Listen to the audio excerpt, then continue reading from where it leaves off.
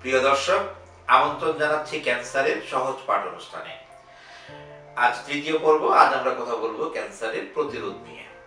Cancer প্রতিরোধের তিনটি উপায় বা স্তরের কথা আমরা বলি।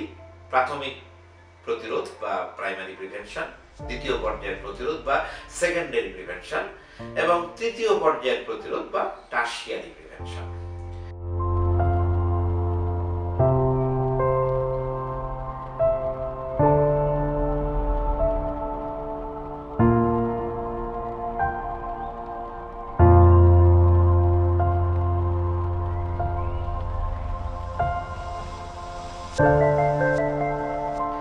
আজকে আমরা মূলত কথা বলব ক্যান্সারের প্রাথমিক প্রতিরোধ নিয়ে।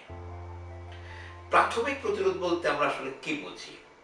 ক্যান্সার শুরু হওয়ার আগে, অর্থাৎ কোষের মধ্যে যে পরিবর্তন শুরু হয়, তারও আগে যদি আমরা কিছু ব্যবস্থা নিতে পারি যাতে ক্যান্সার না হয় তাকে আমরা বলব ক্যান্সারের প্রাথমিক প্রতিরোধ। এবং তার জন্য আমরা যে কাজগুলি করতে পারি, কিছু রিস্ক ফ্যাক্টরের কথা আমরা বলেছি আগের পর্বে, সেই রিস্ক ফ্যাক্টরগুলা যদি আমরা অ্যাভয়েড করতে পারি বা বর্জন করতে পারি, এড়িয়ে চলতে পারি, সেটাই হবে প্রাথমিক প্রতিরোধের প্রথম উপায়। কিছু কিছু রিস্ক ফ্যাক্টরের বিরুদ্ধে কিছু সুনির্দিষ্ট ব্যবস্থা নেওয়ার মতো থাকে বা আমরা বলি স্পেসিফিক প্রোটেকশন সেরকম যদি কিছু থাকে, সেগুলি আমরা গ্রহণ করব।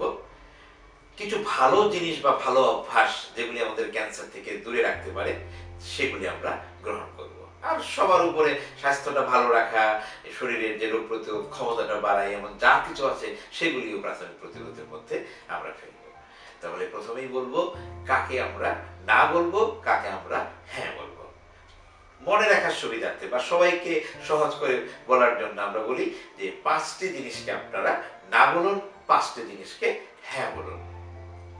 পাঁচটি না প্রথমেই বলব, তামাক বা টোবাকো। যত রকম তামাক আছে, তামাক জাতীয় দ্রব্য আছে। যেমন আমরা অনেকেই ধূমপানের কথা মনে করি, শুধু তামাক বলতে আমরা গত পর্বে বলেছিলাম যে শুধু ধূমপান না, বিড়ি, সিগারেট, হুক্কা না। এই যে স্মোকলেস টোবাকো বা ধোঁয়াবিহীন তামাক যেগুলি আছে, যেমন জর্দা, সাদা পাতা, গুড়, খৈনি, সবগুলাকে আমরা বর্জন করব অ্যালকোহল বা মদ আমরা বর্জন করব। যদিও অনেকেই বলে যে আমাদের দেশে তো তেমন একটা প্রচলন নেই, কিন্তু আসলে তো সমাজের কিছু কিছু স্তরে এগুলির আস্তে আস্তে প্রচলন বাড়ছে। আগে থেকেই সাবধান হওয়া দরকার সেই জন্য আমরা অ্যালকোহল বা মদ বর্জনের কথা বলব। বাল্য বিবাহকে বর্জন করতে হবে। আমরা big no to early marriage বা চাইল্ড ম্যারেজ বাল্য বিবাহকে জোর না বলুন। আমরা একাধিক সঙ্গীর সাথে মেলামেশার বিরুদ্ধে কথা বলি, কারণ জরায়ু মুখের ক্যান্সার সহ আরও কিছু রোগ আছে যেগুলি এই একাধিক সঙ্গীর সাথে শারীরিক মেলামেশার কারণে হতে পারে, কাজে এটাকেও আমাদের বর্জন করতে হবে। অতিরিক্ত প্রাণীজ আমিষ ও চর্বি জাতীয় খাবার একদম বর্জন করা যাবে না বাট একটু পরিমিত করতে হবে। যেমন রেড মিট বা আমরা যে মাংস বলি, যেগুলোর ভিতরে আঁশ বা ফাইবার কম থাকে, সেই খাবারগুলি আমরা যতটা সম্ভব কম খাব।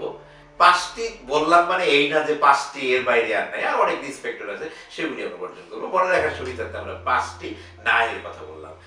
এবার বলব পাঁচটি হ্যাঁ অর্থাৎ ভালো জিনিস, ভালো অভ্যাস, যেগুলি গ্রহণ করলে আমরা ক্যান্সার থেকে নিজেদেরকে রক্ষা করতে পারব। প্রথমেই আমরা বলব যে খাওয়া দাওয়ার অভ্যাসের কথা। আমরা আগে বলেছি যে শাকসবজি ফলমূলের মধ্যে প্রচুর ফাইবার বা আঁশ থাকে। যেমন যেগুলি আমাদেরকে, যার মধ্যে আবার বিটা ক্যারোটিন জাতীয় থাকে, যেগুলি আমাদের ক্যান্সার থেকে প্রতিরোধ করে এবং আমাদের এই যে খাদ্যনালীর যে ক্যান্সার বা মুটিয়ে যাওয়া, এগুলি থেকে রক্ষা করতে পারে। আরেকটা ভালো অভ্যাসের কথা বলব আজকে বিশেষ করে নারীদের জন্য বাচ্চাকে বুকের দুধ খাওয়ানো। মায়ের বুকের দুধের চাইতে ভালো খাবার উন্নত খাবার কোনো কিছু পৃথিবীতে হতে পারে না এই জন্য বাচ্চাকে আমরা সবসময় বুকের দুধ খাওয়ানোর কথা বলব এবং কোনো অজুহাতেই যেন আমরা এটা থেকে নিজেদেরকে সরিয়ে না রাখি। এখন অনেক সমস্যা থাকতে পারে, সেগুলির জন্য ডাক্তারের পরামর্শ প্রয়োজনে নিব, তারপরেও আমরা বাচ্চাকে বুকের দুধ থেকে বঞ্চিত করব না, কারণ দুজনের ক্ষতি আমরা কেন করব? মায়ের ক্ষতি ব্রেস্ট ক্যান্সারের ঝুঁকি বাড়ে। যদি বাচ্চাকে বুকের দুধ খাওয়ানো না হয়, আর সন্তানের ক্ষতি, তার যে রোগ প্রতিরোধের জন্য খুবই জরুরি, বিশেষ করে প্রথম দিকে যে শাল দুধের মধ্যে থাকে কলোস্ট্রাম নামের উপাদান, যেগুলি তার রোগ প্রতিরোধ ক্ষমতাটাকে বাড়ায় দেয় তা থেকে আমরা কেন বঞ্চিত করব? পরিষ্কার, পরিচ্ছন্নতার অভ্যাসটাকে আমরা গ্রহণ করব। অনেকে আছেন যে মুখ ধোয়া বা দাঁত ব্রাশ করার ব্যাপারে আলসেমি থাকে এগুলি কিছুটা হলেও যেহেতু মুখগহ্বরের ক্যান্সারের জন্য দায়ী এই জন্য আমরা মুখ পরিষ্কার করা বা দাঁত মুখ পরিষ্কার করার অভ্যাসটা করব। আর নারীদের বিশেষ করে মাসিকের সময় যে, জীবাণুমুক্ত অবস্থাটা মেনটেন করা, অর্থাৎ সেই ব্যক্তিগত পরিচ্ছন্নতাটার কথা আমরা বলব গ্রহণ করার জন্য। দুইটি ভাইরাসের কথা আমরা বলতে পারি, যার বিরুদ্ধে টিকা নেওয়া যায়, যেমন হেপাটাইটিস বি ভাইরাসের কারণে ক্রনিক ইনফেকশনের কারণে লিভার ক্যান্সার হওয়ার ঝুঁকি থাকে। সেই কারণে এর বিরুদ্ধে যেহেতু টিকা পাওয়া যাচ্ছে এবং ইপিআই শিডিউলের মাধ্যমে বিনা পয়সায় যেহেতু দেওয়া হচ্ছে, আমরা হেপাটাইটিস বি এর টিকা নেওয়ার জন্য উৎসাহিত করব সবাইকে। আরেকটি, যে ভাইরাসটি নারীদের প্রধান, দ্বিতীয় প্রধান ক্যান্সার জরায়ুমুখের ক্যান্সারের জন্য দেয় হিউম্যান প্যাপিলোমা ভাইরাস বা এইচপিভি তার বিরুদ্ধে টিকা আছে দুইটি টিকা আমাদের দেশেও পাওয়া যাচ্ছিল, এই মুহূর্তে পাওয়া যাচ্ছে না কিন্তু কারণে, হয়তো আবার সামনে আসবে।